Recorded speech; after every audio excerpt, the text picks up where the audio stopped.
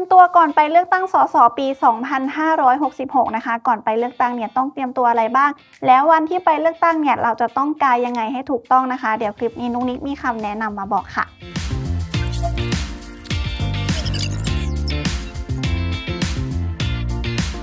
ใกล้วันเลือกตั้งสสปี 2566 เข้ามาแล้วนะคะ คลิปนี้นุ้ยก็เลยมีวิธีเตรียมตัวก่อนที่เราจะไปเลือกตั้ง รวมถึงวันที่ไปเลือกตั้งเนี่ยจะมีวิธีบอกว่าต้องกายังไงนะคะ เพราะว่าการเลือกตั้งในปีนี้เราจะต้องกา 2 ใบด้วยกันค่ะ แต่ว่าคลิปก่อนหน้านะคะนุ้งนี้เคยทำคลิปเกี่ยวกับวิธีการเข้าไปดูเบอร์สอสอเบอร์ของพรรคแต่ละพรรคนะคะ สามารถเข้าไปดูได้เลย เดี๋ยวแนบไว้ใต้คลิปนี้ให้ค่ะ ก่อนไปชมเนื้อหาของคลิปนี้นะคะฝากกดไลค์กดแชร์กดติดตามช่อง i m o d Official ด้วยค่ะ วันเลือกตั้งสสปี 2566 นะคะ จะมี 2 วันด้วยกันค่ะ คือ 1 วันเลือกตั้งล่วงหน้าสำหรับคนที่ลงทะเบียนเลือกตั้งล่วงหน้าเอาไว้นะคะ จะเป็นวันที่ 7 พฤษภาคม ปี 2566 ส่วนวันเลือกตั้งจริง ๆ นะคะ จะเป็นวันที่ 14 พฤษภาคม ปี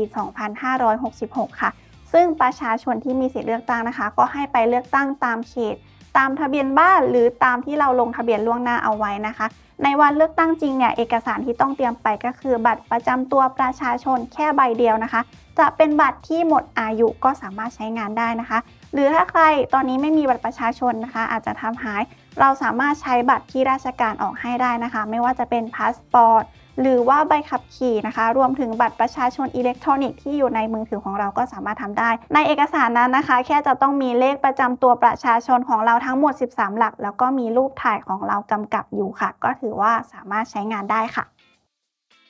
มาพูดถึงเรื่องเวลากันบ้างนะคะ ทั้งวันเลือกตั้งล่วงหน้าและวันเลือกตั้งจริงเนี่ยกกตเขาจะเปิดหีบตั้งแต่เวลา 8 โมงเช้าจนถึง 5 โมงเย็นค่ะ ถ้าสมมุติว่ามีคนถามว่าถ้าไปถึงที่หน่วยเลือกตั้ง ตอนเวลา4โมง59เนี่ยจะสามารถเลือกตั้งได้ไหม ก็ยังสามารถเลือกตั้งได้อยู่ เราแค่ต้องแสดงตัวตนของเรานะคะ ในสถานที่ที่เลือกตั้งก่อนถึงเวลา5โมงก็สามารถเลือกตั้งได้ค่ะ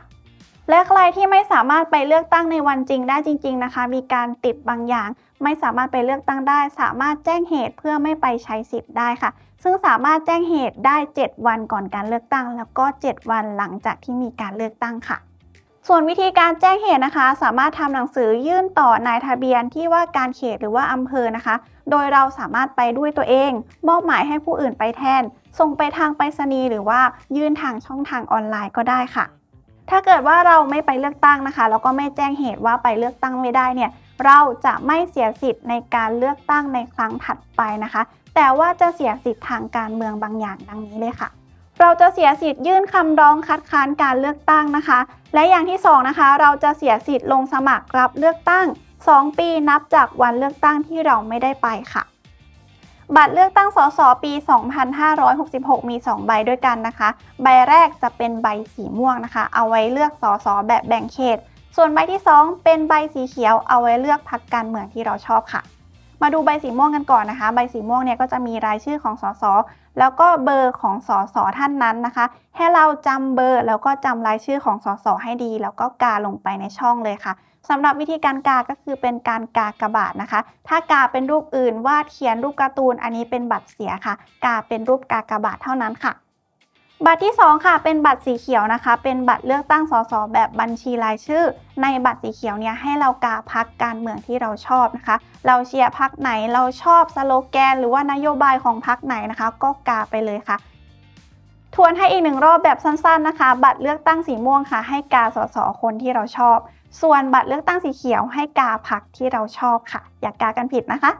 สุดท้ายนี้นุกนิกและทีมงานไอมนนะคะ ก็ขอรณรงค์ให้ประชาชนคนไทยทุกคนที่มีสิทธิเลือกตั้ง ไปใช้สิทธิ์ใช้เสียงเลือกคนดีๆนะคะ เลือกคนที่เราชอบมาบริหารประเทศแทนเราด้วยค่ะ ถ้าชอบคลิปนี้นะคะ ฝากกดไลค์แล้วก็กดแชร์ไปให้เพื่อนดูด้วยนะคะ ฝากกดกระดิ่งไว้ด้วยคลิปหน้านุนิกจะมีอะไรมาฝากอีกก็รอติดตามกันได้เลยค่ะสำหรับคลิปนี้ขอลาไปก่อนนะคะ สวัสดีค่ะ